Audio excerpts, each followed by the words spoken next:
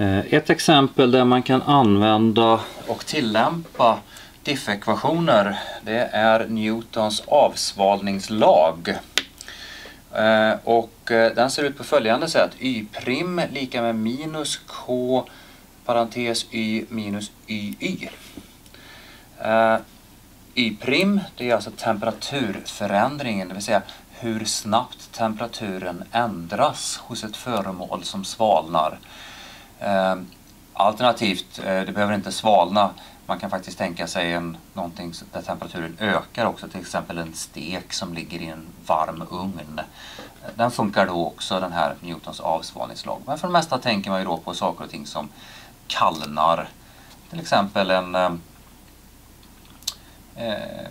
en varm potatis som ligger på en tallrik i ett, eh, i ett rum. Eh, det här var ett dåligt exempel men ja, ni förstår vad jag menar. Um, alltså, eh, uh, Y' det är alltså hur snabbt temperaturen ändras. Y är temperaturen hos föremålet som svalnar. YY det är den yttre temperaturen, eller om man så vill, omgivningens temperatur.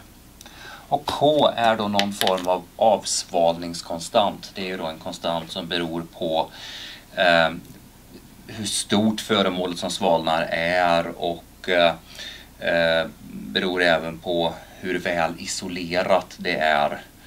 Eh, kaffe i en termos svalnar ju långsammare än kaffe i en mugg. Eh, som exempel. Um, så, i normala fall när man löser den här så måste man då ha kunna hitta Eh, måste kunna hitta så kallade eh, partikulärlösningar, någonting som då inte ingår i den här kursen. Så att, men jag, ska, jag har gjort ett litet exempel på hur man använder Newtons avsvalningslag där man inte behöver använda partikulärlösning.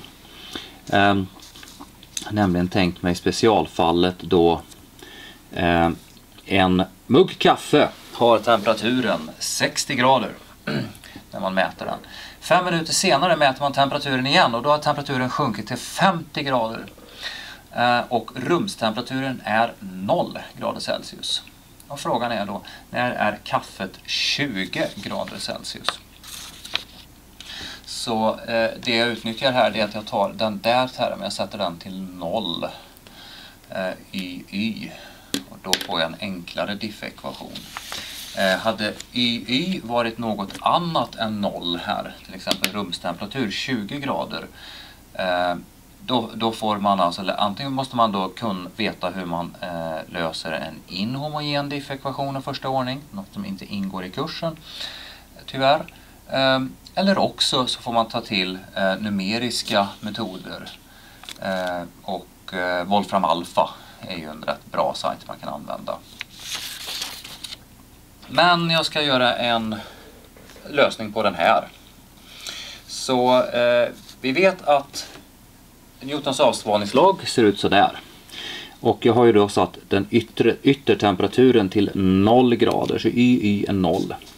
Och då förenklas Newtons avsvalningslag till det där uttrycket. Eh, och eh, den eh, allmänna lösningen till den här ser ut sådär. Y lika med C gånger E upp till minus K gånger T. Nu har jag fått två stycken eh, temperaturer här. Jag har fått temperaturen vid tiden 0, den var 60 grader. Så att jag sätter in i min lösning här för temperatur Y0, den är 60 vet jag, och då är tiden 0. Här har jag nu en ekvation. En ekvation som ser ut så här att 60 är lika med C gånger E upp till 0. E upp till 0 är ju samma som 1. Så att eh, 60 är alltså C gånger 1. Eller om man så vill, C är 60. Eh, nu vet jag ju då eh, dessutom temperaturen när tiden är 5 minuter. Då är temperaturen 50 grader. Eh, samma funktion, den här allmänna lösningen måste gälla även vid tiden 5 minuter. Så Så jag sätter in 50 och tiden 5 minuter i min allmänna lösning här. Eh, och eh, jag har ju redan fått fram vad C har för värde, det är ju 60. Så då får jag det uttrycket. Och jag har en ekvation, jag löser ekvationen och får att 5 sjättedelar lika med e uppe till minus k gånger 5. Och jag löser den. Så får jag ln 5 sjättedelar lika med ln e upp till minus k gånger 5. Och jag får ju då att minus, jag lnar på den sidan. Eh, ln och e slår ihjäl varandra. Jag får minus k gånger 5 kvar. Nu byter jag sida på de här två bara av estetiska skäl, ingenting annat. Då får jag att minus k gånger 5 är lika med ln 5 sjättedelar. Och k är alltså lika med eh, ln eh, 5 sjättedelar genom minus 5. Det är mitt värde på k. Så att jag får alltså min eh, det, det, uttryck som då beskriver eh, hur temperaturen för kaffet i den här muggen förändras över tiden. Det ser alltså ut så här. Y lika med 60 gånger E upphöjt till minus ln 5, genom 6, alltså minus Eh, ln 5 sjättedelar genom minus 5 gånger t. Jag får ett minus och ett minus. Minus minus blir plus. Så jag får alltså att eh, jag kan lika gärna skriva uttrycket som 60 gånger e upphöjt till ln 5 sjättedelar genom 5 gånger t. Så det uttrycket beskriver temperaturen hos kaffet. Eh, så, jag vill ju ta reda på när kaffet är 20 grader. Så minns här att jag vill veta när kaffet är 20 grader. Så att eh, min formel gäller ju generellt.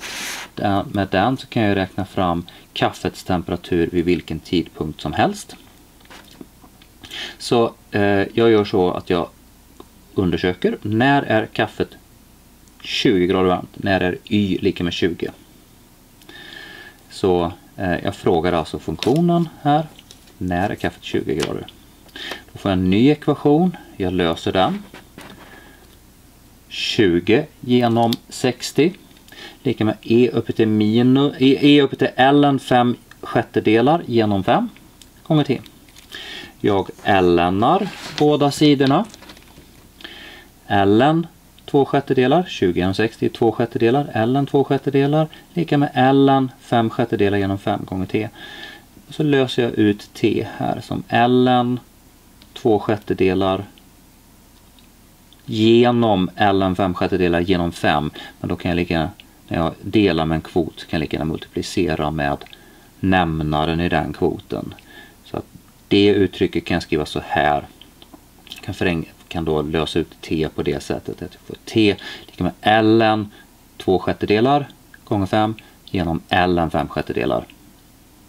Och när jag slår det där så får jag att det blir ungefär 30 minuter. Det slår jag på miniräknaren.